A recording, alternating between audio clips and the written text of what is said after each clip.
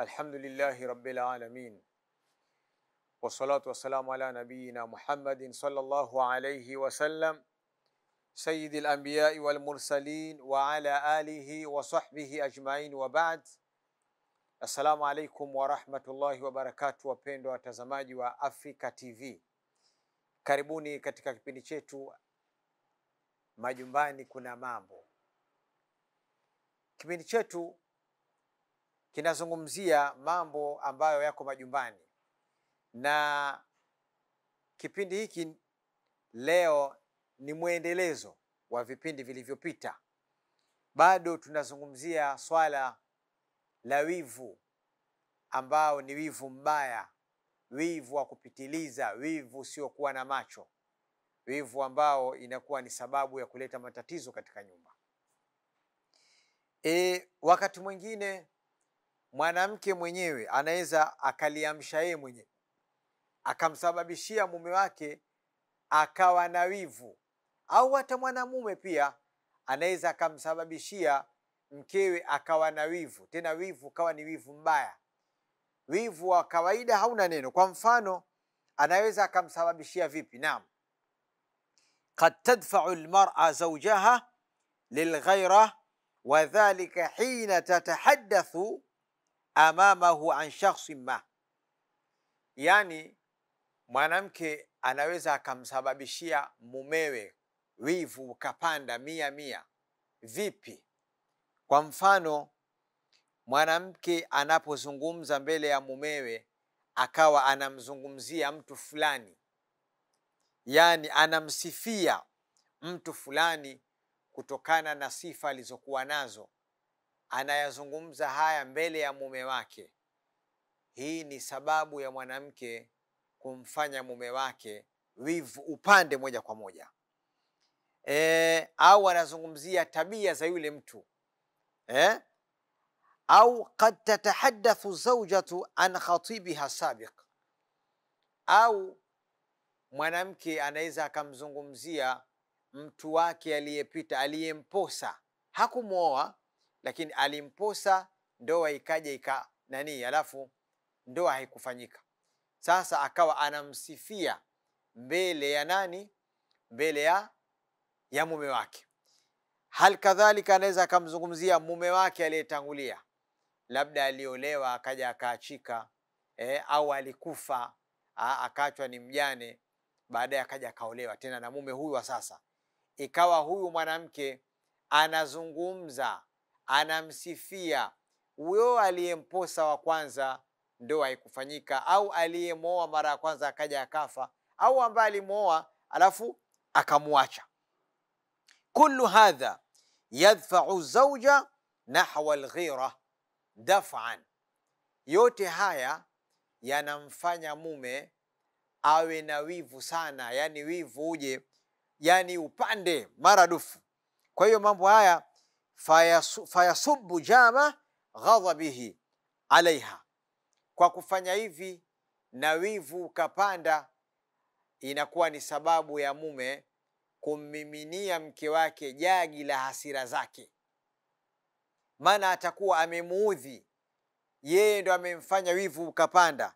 Sasa cha kusubiri hapo ni zile ghadhabu zake atakazommiminia. Kwa hiyo kwa ajili hii natumia fursa hii kupitia TV yenu mnayoipenda afrika TV kutoa nasaha kwa wanawake wenye sifa kama hizi, hal kadhalika hata kwa wanaume wenye sifa kama hizi. Uswiki ayatuha zauja alaqila bima yali, nakupa nasaha dada yangu mwenye akili nzuri kwa haya yafuatayo. Kuhusiana na mambo ya kumwamshaamsha mwenzako, kumwamsha mumeo akawa na wivu. Naanza kwa kusema la tamdahi ahadan min arrijali fi hadithik maa zaujik, usimsifu yoyote usimsifu yoyote katika wanaume unapozungumza na mke wako, unapozungumza na mume wako. Usimsifu yoyote katika wanaume pindi unapozungumza na mume wako wala tadhkuri lahu mutlaqan ayan kanat tarbituka fi, fi, fi, eh? ayan kanat turbituki fihi ayu alaka yani usizungumze wakati ukizungumza na mume wako kumzungumzia mtu yoyote kwa mahusiano yoyote yale ambayo ulikuwa nayo wewe na yeye. Hili jambo litakuletea matatizo katika nyumba. Utaupandisha wivu wa, wa, wa, wa mumeo inaweza ikaja ikawa ni sababu ya wewe kuachika. Hal kadhalika wabtaidi an kulli ma yuthiru shukukahu wa dhununahu. Jiepushe na kila jambo ambalo litaamsha shaka zake na dhana zake. Kwa hiyo haya ni mambo kama mwanamke unatakiwa uchunge sana. Hal kadhalika katika nasaha zangu hawili tamiyata alhubbi bainaki wa baina zaujik jaribu kustawisha penzi lako jaribu kustawisha upendo wako kati yako wewe na mume wako eh? wala tukhalifihi usimpinge mume wako anapokuamrisha jambo eh? wala taasi na wala usimwasi mume, wa, usimwasi mume wako katika amri ambazo atakupa. Fatazdadu shukukuhu yani kama wewe utakuwa unampinga katika amri anazokupa ile shaka yake itazidi kwako. Lakini wewe usimkhalifu mumeo usi, usimwasi mumeo kwa amri ambazo anakupa wala tamfaili idha saalaka an amrin ma. Usikasirike atakapokuuliza jambo fulani au jambo lolote lile ambalo ataka atakuuliza. Usi ukakasirika. Kwa mfano za kuambia "Ah, mbona umechelewa sana? Mbona hivi? Wewe usikasirike. Mjibu mumeo. Bal alaiki an tuwadhihi lahu kulla shubha. Ni wajibu wako kuweka wazi kila jambo ambalo lina shubha lenye utata. Ili upate kufanyaje? Kutuliza kutuliza zile shaka zake na dhana zake. Yani ukifanya hivi basi itakuwa shaka zake zimetulia na uta, utazikimbiza zile fikra zake ambazo zinafikiria mbali na ule wasiwasi atakokuwa nao. Watahali bisabr jipambe kwa subira. Watahali bisabri jipambe kwa kuwa na subira. E, wali, amal na na matarajio na matumaini. Ukifanya hivi utafikia kwenye kumaliza kabisa hii afa tatizo hili la wivu mbele ya mumeo. Unakuwa mwazi akikuuliza unamuuliza eh, una, unamjibu nilikuwa huku kulikuwa na jambo kadha kadha kadha. Kitu chochote atakachokuuliza usikasirike. Wewe mjibu. Ukifanya hivi utaenda naye vizuri. Hal kadhalika nasaha zangu kwako wewe au widi nafsak talbiyata raghabatihi eh?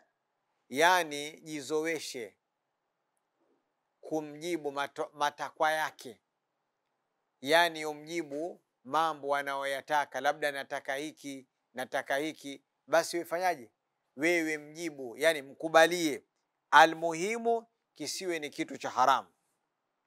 Akitaka kwako wewe usichelewe sehemu fulani umekwenda labda kwenu nyumbani kusalimia kwa mjomba wako eh, au kwa wazazi wako fala budda min taatihi. Hapana budi kumtii lianna hadha sayajlib lahu hudu alba. Kwa sababu jambo hili litamfanya moyo wake utulie. Hizi ndio nasaha zangu. Hal kadhalika wa ala zauj pia anatoa nasaha kwa mume kwamba adamu tibai dhanni wa shak. Asiwe ni mtu wa kufuatafuata dhana na shaka. Yaani dhana zake zikawa zinampelekea kuwa na wivu mkubwa kabisa akamuhisi mke wake mambo mabaya akamuhisi mke wake kwamba ana hili na lile. Hapana ndugu yangu mwanaume usiwe hivyo. E, alafu vile vile kuwa na dhana nzuri kwa mkeo inatakiwa uwe na dhana nzuri kwa mkeo. Walitminani lisulukiha na utulizane kwa tabia zake. Usiwe na wasiwasi naye kwa sababu wewe ulimwoa huyu baada ya kukidhi vile vigezo vyote. Uliona kwamba huyu anafaa huyu ni mwenye dini hana wasiwasi. Haya wasiwasi wako wa nini? Yako mambo kweli yakijitokeza unaweza ukapata wasiwasi na ukafuatilia lakini sio kila jambo unakuwa na wasiwasi. Sio kila jambo unakuwa na wasiwasi. Usiwe hivyo. Hal kadhalika iqnau zawjati biltizami alhijabi shar'i, mkinaishe mkeo. Kama si mtu wa kuvaa hijabu. Eh? Mk- mkinaishe. Mpe maneno mazuri ya kumkinaisha mpaka alazimiane na hijabu. Sio maneno makali kumfosi na nini hapana. Maneno mazuri yalimtoa nyoka pangoni kwa hiyo ndugu yangu kuwa na maneno mazuri ya kumkinaisha nani ya kumkinaisha mkeo. Kama ile mara ya kwanza ambayo ulimfuata kutaka kumwoa ulikwenda na maneno mazuri. Akakukubalia. Hali kadhalika katika mambo haya yanayohusiana na mambo ya dini mambo ya kisheria nenda hivyo hivyo. In lam takun multazima kama mkeo si mtu wa kulazimiana na mambo ya dini basi jaribu kumkinaisha fahuwa faridhatun islamia kuvaa hijabu ni faradhi ya kiislamu. Uislamu umefaradhisha jambo hilo ni lazima. Nenda naye taratibu taqi lmujtamaa shururan kathira. Jambo hili la kuvaa hijabu linaikinga jamii na maovu mengi kuliko watu kutembea weupe. Mpaka nguo ya ndani unaiona. Imefikia sasa hivi mpaka kuna mabinti hawavai hata nguo ya ndani eh? haya nimeyashuhudia mimi mwenyewe. Wengine wamepata ajali kaangu pale hana kitu. Kwa hiyo jamani hizi nasaha tuifanyie kazi ili majumba yetu yaende vizuri. Kipindi ni majumbani kuna mambo. Mambo yenyewe ndio hayo mambo ya wivu na nini. Wahadha assalamu alaikum warahmatullahi wabarakatu tutaonana katika kipindi chengine insha allah. Unipe njema mwisho mwishoni